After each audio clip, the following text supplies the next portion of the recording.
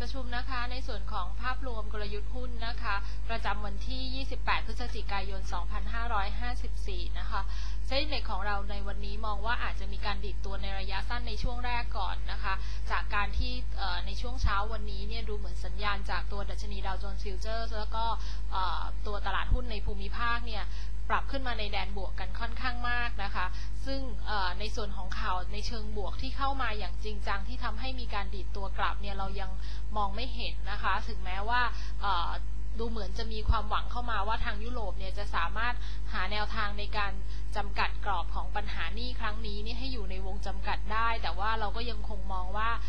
ในส่วนของแนวทางที่ชัดเจนที่จะประกาศออกมาเป็นรูปธรรมเนี่ยยังมองไม่เห็นแนวทางตรงนี้ที่ที่จะมีความชัดเจนออกมานะคะ ยังไม่มีรายละเอียดซึ่งก็มองว่าน่าจะยังคงเป็นเพียงแค่ความหวังหรือว่าปัจจัยในระยะสั้นเท่านั้นนะคะ การดีดตัวขึ้นในช่วงเช้าวันนี้เนี่ยส่วนใหญ่เรายังคงมองว่าน่าจะเป็นอิทธิพลของการปรับลงของตลาดหุ้นในช่วงก่อนหน้านี้ค่อนข้างมากนะคะ ซึ่งในตัวของดัชนีดาวโจนส์เองเนี่ยก็ปรับตัวลงค่อนข้างที่จะย่ำแย่สุดในรอบเกือบ 2 เดือนนะคะสำหรับสัปดาห์ในช่วงที่ผ่านมานะคะ มีการขายต่อเนื่องกันค่อนข้างยาวนานนะคะ แล้วก็น่าจะเกิดเป็นรายการช็อต covering ขึ้นมากกว่านะคะ ส่วนในแง่ของตลาดในภูมิภาคเนี่ยก็อยู่ในลักษณะทำนองเดียวกันนะคะ คืออ่อนตัวลงเป็นส่วนใหญ่ในรอบสัปดาห์ที่ผ่านมา แล้วก็อ่อนตัวลงค่อนข้างมากซะด้วยนะคะ เพราะฉะนั้นการดีดกลับเนี่ยในเรื่องของระยะสั้นหลังจากที่อ่อนตัวลงมาค่อนข้างมาก มองว่ามีความเป็นไปได้นะคะ แต่ถ้ามองในเชิงเปรียบเทียบระหว่าง SET Index ของเรากับเพื่อนบ้านในช่วงที่ผ่านมาต้องยอมรับว่าเราค่อนข้าง outperform เพื่อนบ้านนะคะ ก็คือเราปรับลงน้อยกว่า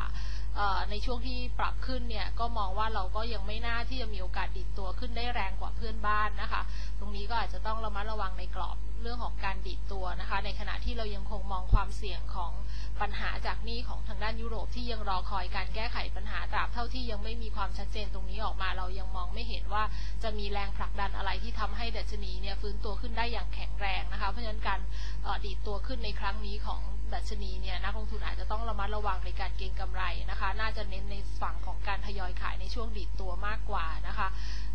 ถ้ามองในรอบสัปดาห์นี้แล้วเนี่ยมองว่า factor หลักที่ น้ำหนักมากสุดยังคงเป็นเรื่องของภาพรวม หรือว่าความคืบหน้าของการแก้หนี้ของทางด้านยุโรปนะคะ ซึ่งอย่าง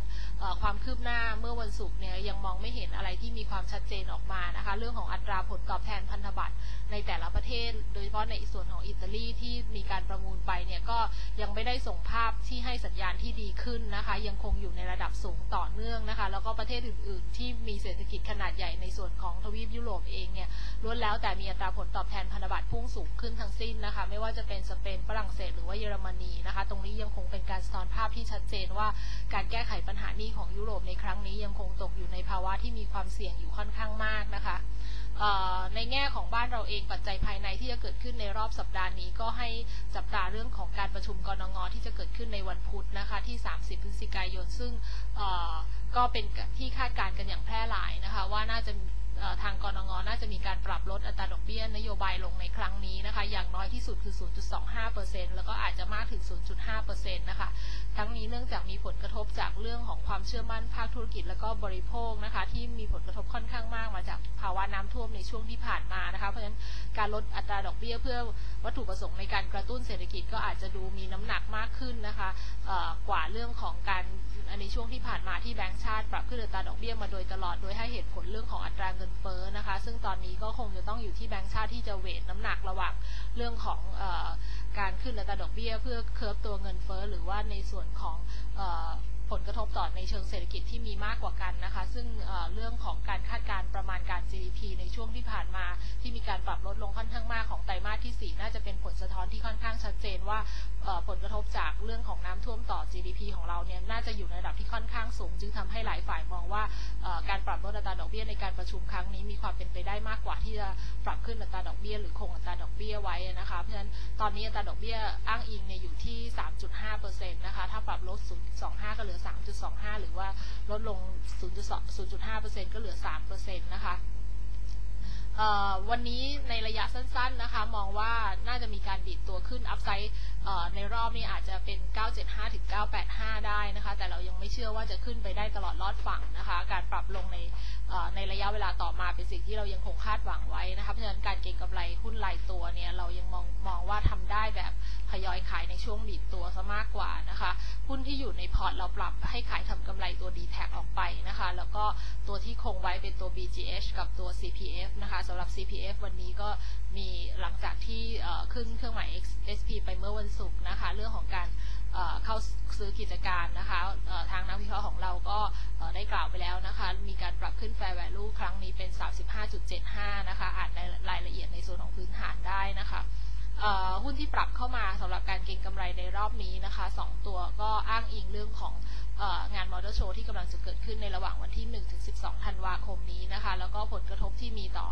เเรื่องของอุตสาหกรรมยานยนต์จากภาวะน้ำท่วมในช่วงที่ผ่านมาน่าจะรับเข้าไปในราคาระดับหนึ่งแล้วนะคะเเรื่องของผลประกอบการไตรมาสสี่จากผลกระทบเรื่องน้ำท่วมทุกคนย่อมคาดการ์แล้วก็ได้ตอบรับไปบางส่วนแล้วนะคะ ความคาดหวังต่อการฟื้นตัวในช่วงต้นปีหน้าก็ยังเป็นอีกอันหนึ่งที่มองว่าน่าสนใจนะคะ อาจจะเข้ามาเก็งกำไรในช่วงที่เรายังกำลังจะมีงาน motor show นะคะ SAT สมบูรณ์แอ๊ดวานซ์เทคโนโลยียังคงเป็น top pick ของเราในกลุ่มนะคะ เราเลือกเข้ามาให้เก็งกำไร fair value อยู่ที่ 21 บาท 50 นะคะเทคนิคในระยะสั้นเรามองแนวต้านที่ 20 บาท 50 ก่อนนะคะ แล้วก็แนวรับอยู่ที่ 19 บาท 40 แล้วก็ cut loss ที่ 19 บาทนะคะทิสโก้เป็นอีกตัวหนึ่งที่อยู่ในกลุ่มการเงินที่มองว่าเกี่ยวข้องกับเรื่องของการปล่อยกู้นะคะก็รอรับงานเรื่องของมอเตอร์โชว์ที่จะเกิดขึ้นในช่วงต้นเดือนธันวาคมนะคะแฟร์แวลูเรามอง 44 บาท 60 นะคะ เทคนิคในระยะสั้นเรามอง 39 บาทนะคะ แนวรับอยู่ที่ 36 บาท 50 แล้วก็คัดลอสที่ 35 บาทค่ะ ปิดประชุมในส่วนของกลยุทธ์หุ้นค่ะ